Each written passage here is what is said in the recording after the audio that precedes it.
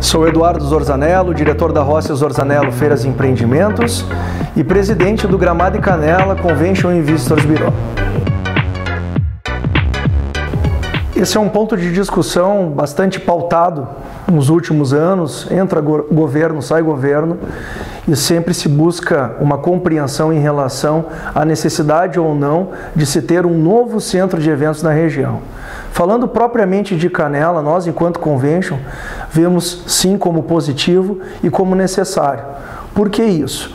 Porque dos últimos 18 anos, de captação do Convention Investors Bureau Região das Hortênsias, nós elencamos um banco de dados com um volume, tamanho de eventos que poderiam vir tanto para Gramado como para Canela e que deixaram de vir justamente pela falta de infraestrutura local. O que nós defendemos é, independente do local que seja em Canela, é que haja um centro de eventos que comporte em torno de 5 mil pessoas em formato de auditório, que possa receber nesse mesmo centro de eventos essas 5 mil pessoas em salas modulares ou compartimentadas, que possa atender de maneira simultânea, num congresso médico, por exemplo, uma plenária principal com 3 mil congressistas e automaticamente quatro ou cinco salas com 400 ou 500 pessoas. O que nós estamos vendo a nível nacional, falando um pouco de competitividade, é que destinos tradicionais como Rio de Janeiro, Foz do Iguaçu, São Paulo, Fortaleza, Curitiba, Belo Horizonte, que teoricamente competem com o nosso destino em relação ao recebimento de um novo evento, nós acabamos perdendo a oportunidade de trazer este evento justamente num período de baixa temporada que vai provocar a quebra e o equilíbrio da sua sazonalidade e principalmente valorizar esse turista de negócios cujo ticket médio ele é três vezes maior do que o de um turista convencional. Então, o nosso esforço é justamente fazer com que a região, mas especificamente Canela, em caso na pauta do centro de eventos, tenha sim a possibilidade de abrigar esse centro de eventos que a nossa região está carente. Isso muito passa pela questão da viabilidade do negócio. Hoje, no mundo dos negócios, o investidor ele acaba pautando a médio, curto, médio ou longo prazo qual é o, o, o retorno de investimento que ele tem. O que a gente pode ter e dizer é que muitos dos investidores que hoje estão no mercado buscando projetar um, um, o seu investimento, no caso de um centro de eventos, ele quer ter mais alguma alternativa para rentabilizar. Talvez um hotel seja uma alternativa, lojas comerciais, um centro de entretenimento, enfim, é muito da questão agora de se valorizar a viabilidade econômica do negócio. O que não dá é nós protelarmos um assunto e essa é a defesa que nós fazemos e reiteramos de se não se ter um centro de eventos por não poder abrigar um determinado equipamento adjacente, seja um hotel, seja um restaurante, seja um shopping, por exemplo. O que nós defendemos é que a célula principal, sim, seja o centro de eventos.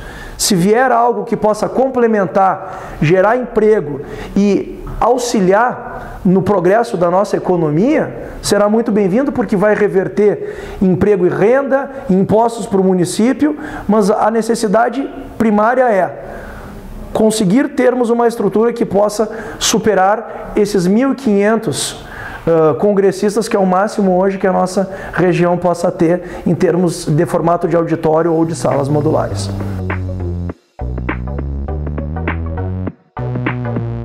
No nosso entendimento, a cidade de Canela eh, tem que buscar um local mais apropriado, equilibrado e que haja um crescimento ordenado e sustentável da situação.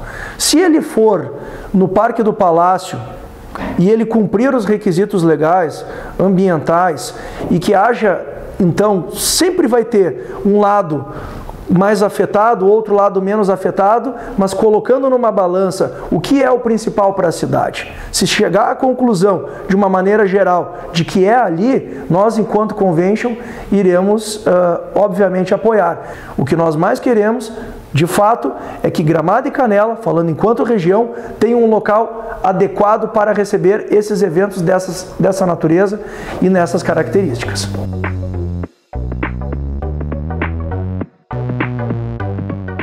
Eu acho que a pergunta é muito apropriada, mas antes de se falar em saturação, é necessário a gente enxergar se a nossa infraestrutura de receptivo turístico, nos seus diferentes meandros, serviço, hotelaria, gastronomia, a própria questão dos, do uso das locações de temporada, Airbnb, tudo isso faz parte do nosso manancial turístico.